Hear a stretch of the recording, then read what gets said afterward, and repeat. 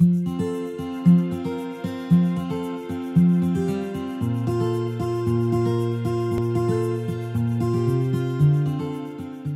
most complex challenge when talking about learning innovation is being able to design and manage teaching and learning experiences. On one hand, we need to ensure that our students achieve results in terms of knowledge, abilities and competencies specific to our subjects. On the other hand, at the same time, we need to give them the chance to develop more complex skills, such as critical thinking, collaboration, communication, creativity, and transdisciplinary mindset. Those skills are very important to manage the rapidly changing context that students will find after leaving our universities, characterized by new and wicked problems. We definitely need to underline the change in the role of teachers when moving from a traditional teaching practice based on frontal lessons to one where active learning is the main strategy. We are basically going from a dimension where the teacher is a speaker to one where the teacher is a designer. These are two very different characters. The speaker has the responsibility to choose contents and to present them in the most efficient and clear way. The ability to express himself in an efficient and involving way is his most important skill. The teacher designer, instead, is a teacher who can design a wider learning experience, activating students alone or in groups, eventually also using what can be helpful from the digital world to reach the intended learning outcomes.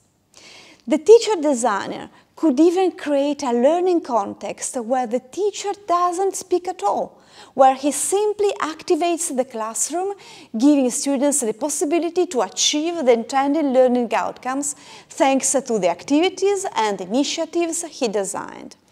Obviously, this does not mean demonizing the traditional teaching. Frontal content transmission will always have an important role in our teaching. The important thing is that the frontal content transmission, when necessary, should happen with a specific function inside a whole teaching project, mixing frontal and active approaches in the more appropriate way.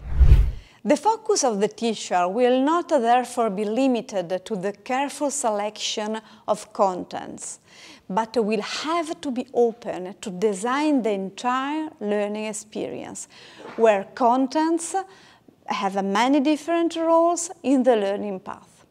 Moreover, when designing the whole experience, we don't have to consider contents just per se, but we need to take into account also their structure, their format and their sources. So we can say that contents are part of a wider context where the learning experience happens. In order to visualize it, we can try to represent it with a network where we can represent the learning experience. In this network, the nodes are the active subjects of the experience who will need to be understood and observed in terms of their characteristics. The link among nodes are the physical and virtual channels that are used to support the communication among the actors of the learning experience that will be activated either individually or in groups. And finally, we have the relevant role of the outside world, a usually underestimated pillar in building the intended learning outcomes. So what you have just seen is a rich design path that wins with a very special network, the Learning Innovation Network. We will support you during all this path using the Learning Innovation Network that we will get to know in detail during this MOOC. it will help us at the same time to deconstruct the learning experience and to see it in an holistic perspective. Moreover, the Learning Innovation Network will help us in observing the learning experience with more consciousness and to redesign it being inspired by both the pedagogical culture and the opportunities that new technologies provide.